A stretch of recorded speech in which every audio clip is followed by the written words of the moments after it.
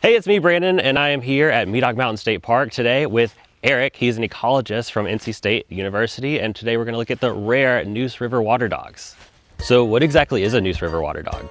So the Neuse River water dog is a large aquatic salamander that's only found in the Neuse and Tar River basins here in eastern North Carolina. So here in Medoc Mountain, we're in the drainage of Little Fishing Creek, which goes into the Tar River later on. They're a pretty large brown and black spotted salamander, and you could find them in clean flowing streams around here. So Neuse River water dogs are salamanders, which means they're amphibians. I thought that amphibians lived in the water and on land. So most salamanders, you're right, do have a period of their life when they're in the water, usually when they're younger juvenile animals, and then come onto land as adults. However, the Neuse River water dog goes through its entire developmental life cycle in the water. And so they never actually leave the water. They you know, breathe exclusively dissolved oxygen in the water. Um, and that's the only place that you can find them. They do have lungs, but they don't really use them as much as you would think. Part of that is just because amphibians tend to have a variety of ways that they breathe um, throughout their life cycle. So what is it about Medoc Mountain State Park that makes it such a great habitat for Neuse River water dogs? Yeah, so thankfully Medoc Mountain is part of a watershed that's um, has a not very much development in it. And so because of the lack of development and all of the buffering of the streams, so that's having intact forest on either side of the stream, there isn't a lot of erosion, there isn't very much sedimentation happening in the stream, and so there's a lot of good structure like logs and rocks that water dogs can hide under.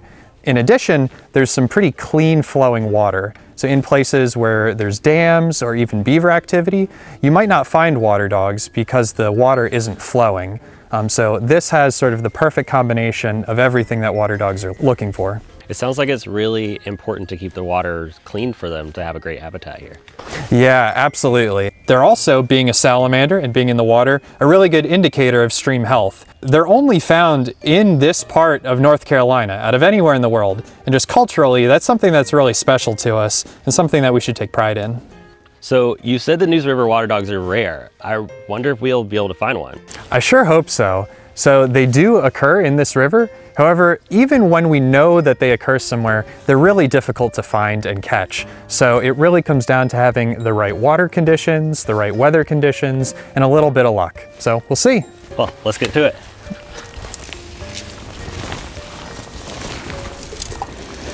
Hmm. Well, unfortunately nothing in this trap, but thankfully I have a couple more out here, and so we still have a couple more chances. Well, they continue to be elusive, and they wouldn't get their name, their rare Neuse River water dog, if they weren't. No, you're right about that. What's that inside? So in here is actually some chicken liver that I have in this bottle. It sounds a little bit gross, maybe not appetizing to us, but it's sure appetizing for the water dogs and other creatures in the stream. Well, nothing in this one either, but there are a couple snails, and that is one of the primary food sources of Neuse River water dogs. So what can you tell me about your research? I'm looking at trying to understand why Neuse River water dogs are declining. We think that they are declining in areas around some of our urban centers, but that could be due to pollution or erosion or a variety of other threats. And I'm really trying to figure out, can we pinpoint it to a specific threat so that we can manage for that later on? Um, as I'm learning more about water dogs, I'm starting to understand that I think the younger life stages might be one of the important things to look at. So adults seem to be pretty tolerant, but it might be the younger ones that are impacted by things like development going on. And so I'm really trying to get to the bottom of that so that we can understand what needs to be done to make sure that they survive.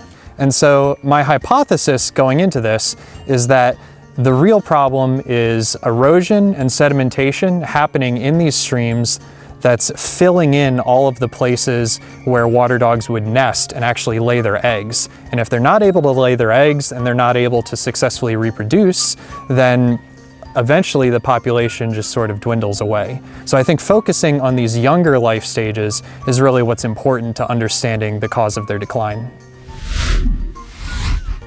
Whoa, we caught something. Oh wow, yeah, look at that. It's a crayfish.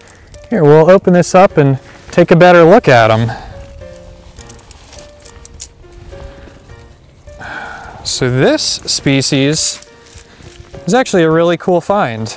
This is the Carolina spiny crayfish. So like the Neuse River water dog, it's only found in the Neuse and Tar River basins here in North Carolina. And one of the easiest ways to tell what kind it is, just by looking at it, is this black and brown mottling that it has all over, as well as some little spines that it has right there. Oh, well here's a cool find. So not the salamander that we're looking for. Um, you know, we're looking for the Neuse River water dog, but this is a different type of salamander that can also be found here. This is a siren. Um, so let's get it out into a smaller bucket so we can have a better look. Wow, that is so neat.